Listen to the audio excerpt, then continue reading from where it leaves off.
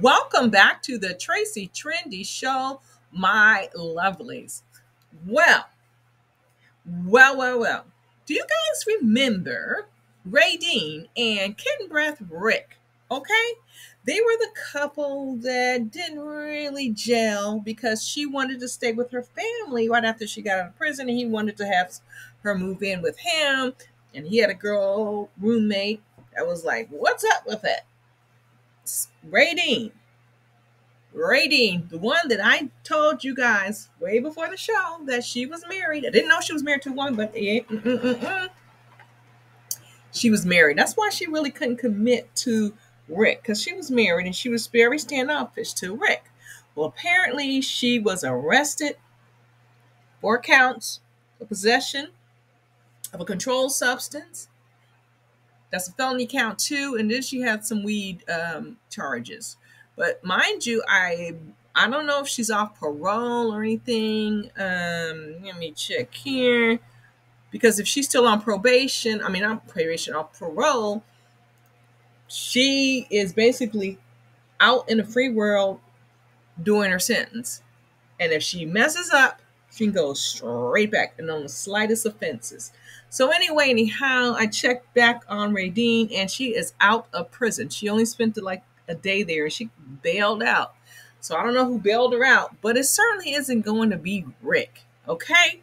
Because according to her his sister, she says she wishes her well, good for her, and what she did to my brother. And I promise you, he won't be accepting any of her calls. He's moved on with a wonderful woman who treats him well.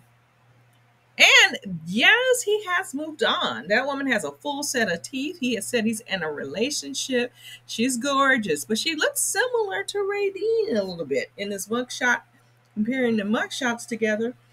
But anyway, I don't know who bailed Raydean out with the quickness. Was it her wife? Because I think her wife was still in prison for till quite some time. So I don't know who bailed Raydean out. It could have been her dad. She is named after him. But anyway, anyhow, that is the scoop, my loves. Raydean got caught with some stuff. And I don't know why she crying on the mugshot because she looks very distraught, but you know, she's she's been in that situation before. She'll be kind of used to it. But maybe uh, I don't know. Maybe anyway, she's out now for now on bail. Hopefully, she can sort this out and get her life together. But I was hoping, you know, if you stayed in prison, you could get your teeth fixed. But anyway, anyhow, it is what it is. She needs to write. You know, you what? She did stay, stay a long time without getting arrested, so that was good. But the recidivism rate for these folks is crazy. So for her to go this long without being arrested is something to hang her hat on, but not much because she's going to have to face the judge eventually. And some of those charges are mount to nothing. Oh, there's Ramona. Mount to nothing. But three of the charges are just up to zero to six months.